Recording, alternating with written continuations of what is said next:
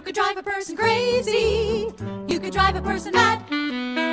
First you make a person hazy, so a person could be had. Then you leave a person dangling, sadly, outside your door, which it only makes a person gladly want to even more. I could understand a person if he said to go away.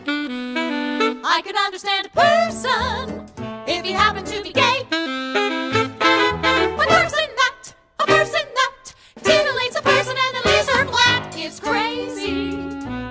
Troubled person. He's a truly crazy person himself. Bastard. Flabby, What's flimsy, goddamn good at giving head? cockroach. When a person's personality is personable, he should not sit like a lump.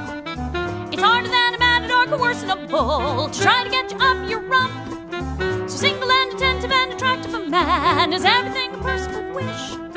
But turning off a person is the act of a man who likes to pull the hooks out of fish.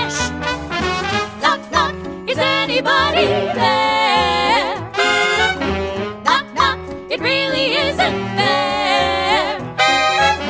Knock, knock, I'm working all my charms. Knock, knock, a zombie's in my arms. All that sweet affection, what is wrong? Where's the loose connection? How long, oh Lord, how long? Bobby, baby, Bobby, booby, Bobby, you could drive a person buggy. You could blow a person's cool.